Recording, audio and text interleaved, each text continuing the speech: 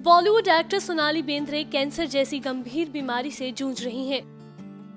हाल ही में हमने आपको उनकी एक फ़ोटो दिखाई थी, जिसमें वो बिना बालों की दिखाई दी थी दरअसल इस पिक्चर में सोनाली के साथ उनकी दो बेस्ट फ्रेंड सुजैन खान और गायत्री ओबराय नज़र आ रही थी इस पिक्चर की खास बात यह है कि सोनाली इतने दर्द में भी मुस्कुरा रही हैं।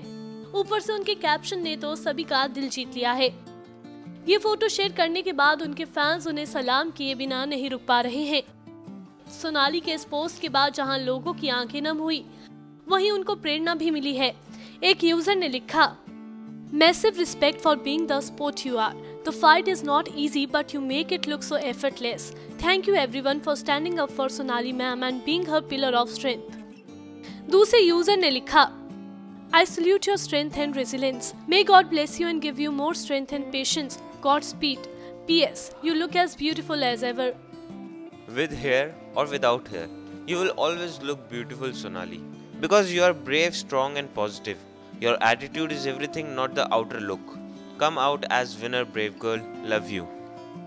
तो देखा आपने वैसे सचमुच सोनाली हर किसी के लिए मिसाल बन गई हैं। उन्हें देखने के बाद बस एक ही डायलॉग याद आता है हंसो जियो मुस्कुराओ क्या पता कल होना हो आपको हमारी ये स्टोरी कैसी लगी हमें कमेंट करके ज़रूर बताएँ